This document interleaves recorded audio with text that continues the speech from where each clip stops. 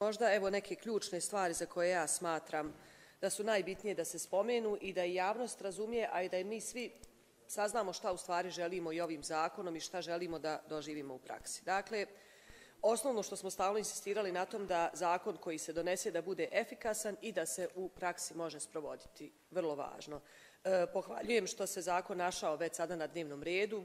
Govorila sam nekoliko puta o problemu nasilja nad ženama, tako da je zaista za pohvalu da smo konačno na pravi način počeli da se bavimo ovim problemom i da ga shvatamo kao problem koji je ključan za rješavanje u životu svih nas.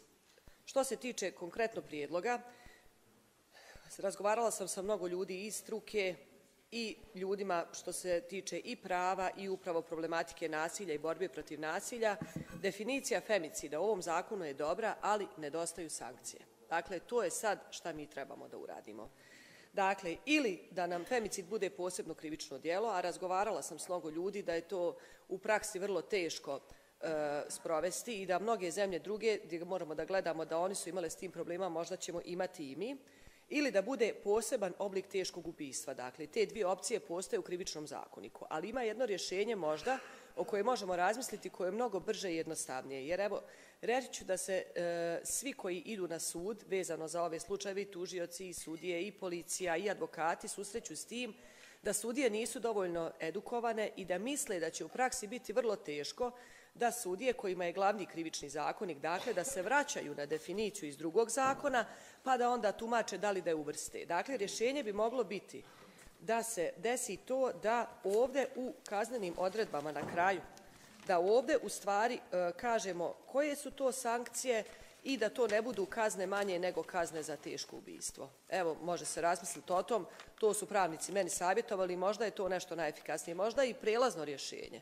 Možda nije idealno, ali za početak da ne bismo ponovo ulazili sad u procedure izmjene krivičnog zakonika, a zbog tog što opet smatruju, ako se to uvede u krivični zakonik, da će sudije vrlo teško da se vraćaju na ovaj zakon, da bi tumačili femicid koji jeste dobro definisan, pitanje da li će htjeti da ga gledaju u situaciji kad trebaju da procjenju. Dakle, da evo, dako je to pravno moguće, ako smatrate da je dobro, možda je to jedno od rješenja.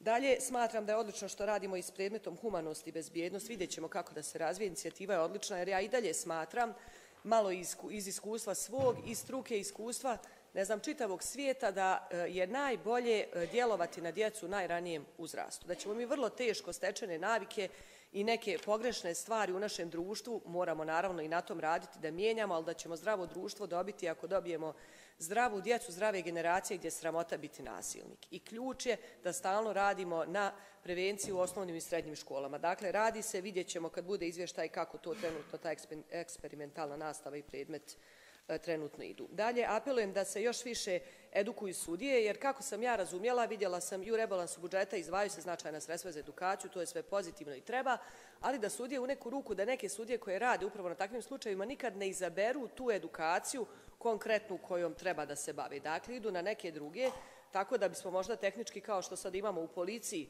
e, takve stvari da ih edukujemo, možda bismo mogli malo modifikovati i to što se tiče edukacije sudija, da zaista svaki sudija koji može da dobije takav predmet više o tom sazna. Pozitivno je također i finansiranje sigurnih kuća u 100% iznosu, to je također nešto što do sad nije bilo.